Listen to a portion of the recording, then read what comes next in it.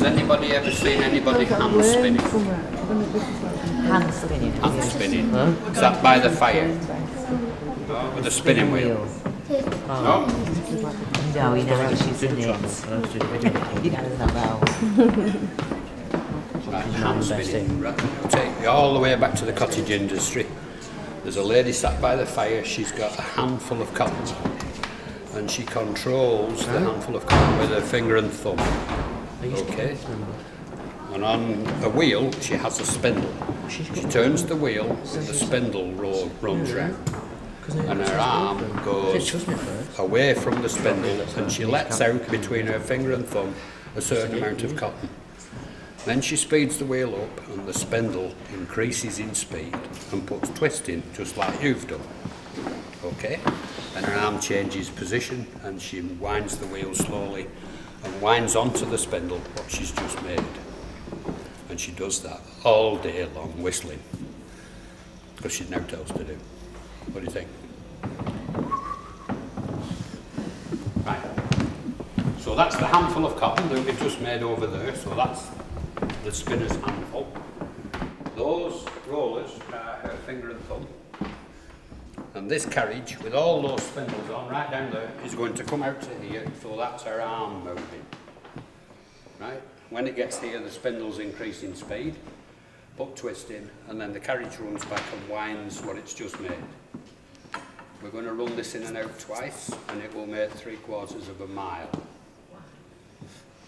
There's another one there, so if that one ran in and out twice, that's a mile and a half. And it's going to do that four times a minute, so these two will make three miles a minute. There's two more there, that's how many? Three and three? Six. No, three and three. I I know I come from Oldham, but I do know that. uh, We put some of those in the bag. Six, right? And there's the same room upstairs, right above you, used to be the same. Right? So every minute upstairs, there's another six miles a minute. So between the two floors, 12 miles a minute, day in and day out. And this is only a little mill.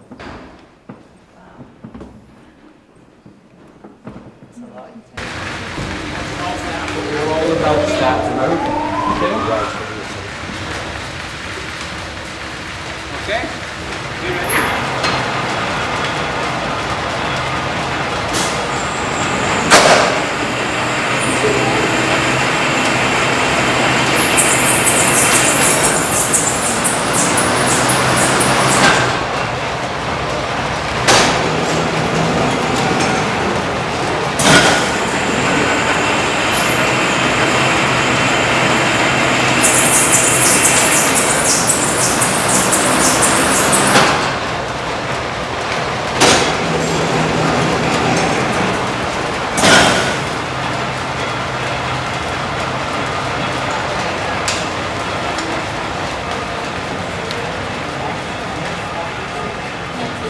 Any questions? How far do you think I'm going to walk in a day if I'm walking up and down there? Every time this one comes out, this one's coming out, so I'm walking about like a drunk. She About 10 miles a day? Probably more. No, it's about 10. It's a long, long day. Yeah, 10 hours, 10 miles. Then how, how many miles of cotton? Work it out. How many calculator? Six miles a minute out of this room. So six miles a Work, minute. and work it out. Uh, it's only working 80%, so it'll work 8 hours. Wow. So it's 660s for a start. That's 360 mile an hour. Times 8. We'll do it by 10, the 10 hour day, so that's 3,600 miles. Wow. And that's just And then knock 720 off that. So and that's just this this room. yeah, one room.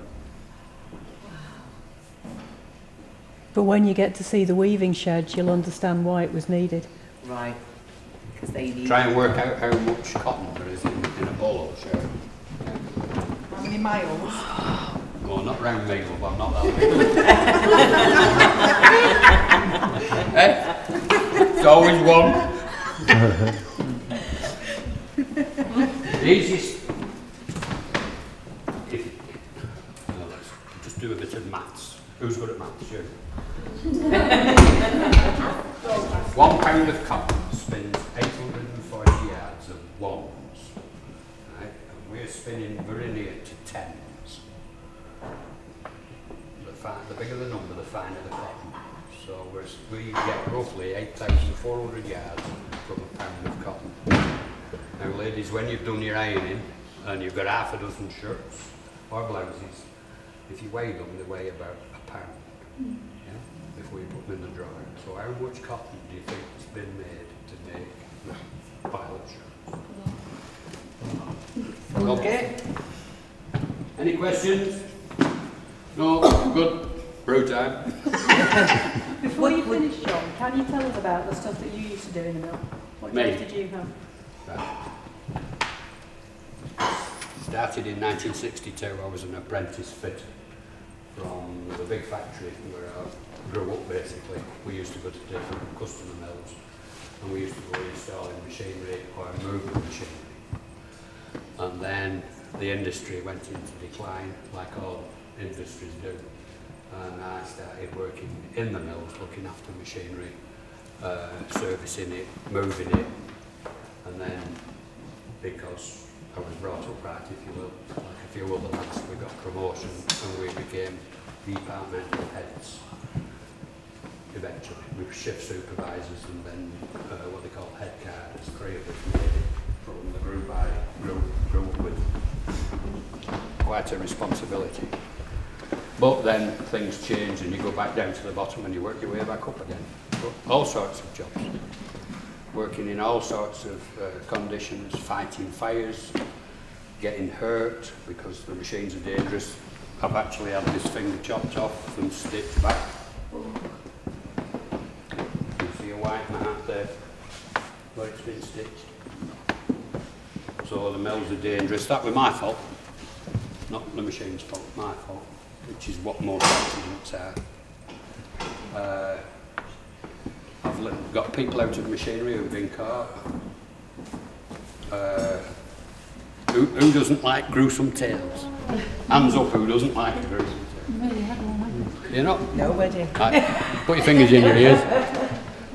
I once pulled a bloke out of a carding machine and all his hand had been stripped off down to the bone. It's called degloving. That's the medical term. No, not a lot. I picked a, two fingers up that a bloke had lost. So you get all sorts of things to do. But the worst experience is firefighting because the rooms very quickly fill up with smoke. Uh, it's not, you know, the flames are nothing, but once the smoke's there, you start gasping for breath. on the cotton as well, the Yeah. fumes must get bad. And it travels quicker than any of you can move. Who thinks they can run quick? Hmm. It would be you. if I set fire to that, you'd be still stood still and the fire would be down at the bottom. It just goes poof like that. Horrible. But I enjoyed every bloody minute of it for some reason. What was the mills happy? Was it a happy place to work, would you say? Yeah, they, they have their own way of sorting people out, mills, because you're a team, right from the, the labourer to the manager, you're a team. And if you don't fit in, they get rid of you. If they still fit, you're out. They make sure of that. Because they're all dependent on one another. Starting downstairs, the guy who makes the laps downstairs is giving that person a job. So if they don't get it right, they struggle. If they don't fill the cans right and make the laps right, the next people get in trouble. And if it's not right when it comes here, the spinners who are all big blokes, they're going back to your hero, won't they? Right, so, so, So you have to you just sort yourself that out. team. Yeah, either fit in or get out. And if you got sacked from a job, could you go to another mill and get a job, or will people talk about you and make Well, it's it? called blackballing that. If, if you was, if normally, you, if you got fed up and had a bit of a ruckus with the manager, when, in, when the industry was in its heyday, you could just say, oh, up yours, like, you know, and walk down to the next mill and get a job. But things got tighter and tighter and tighter. And if you were sacked, then you would have to uh, prove yourself very, very able to get another job because the manager, obviously they want references. Yeah. Why was he sacked? She sacked because of I'm not not employing you. Right. They were tight ships, no messing about. Me and my mate sorted two young lads fighting with a hosepipe. Just turned the hosepipe up and blew them out the door, basically. I sent a bloke home for being drunk. You know the laps at the back? They, they weighed f- uh, in the region of 56 pounds, the one we were using, and this bloke came in drunk at two o'clock. And he was trying to put a lap in the back of a card, and the lap won. And he had him pegged out on the floor uh, with his trousers around his ankle. Sent him home. He, he wandered around Rochdale well half past ten at night because he'd hurt home. His, his missus had a cane. it was my fault when he come in the following day. Eh, he just got his naturalisation papers. He were a Polish bloke. Rochdale sergeant had just given him his papers, you know, so they cracked a bottle of vodka. I don't know what the sergeant was like. He were out with his tree, eh? So people had a laugh. So they, so they did.